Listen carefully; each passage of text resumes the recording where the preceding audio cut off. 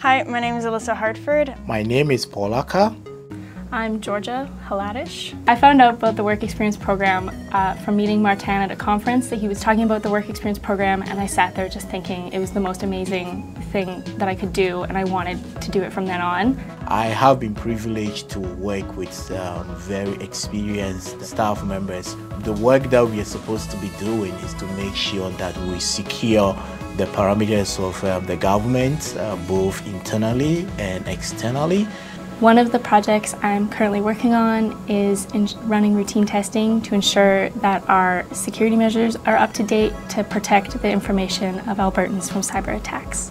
In my current position, uh, I'm actually working with the awareness and training team.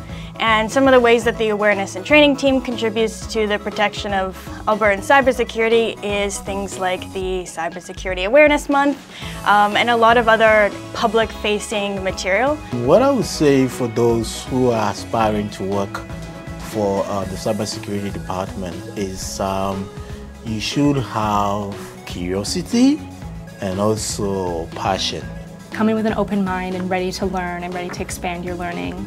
The environment itself has been very positive in trying to nurture and grow my skills and give me those learning uh, opportunities. So even if you're not confident in any kind of cybersecurity technical skills, if you have that desire to learn, this is really the place to be.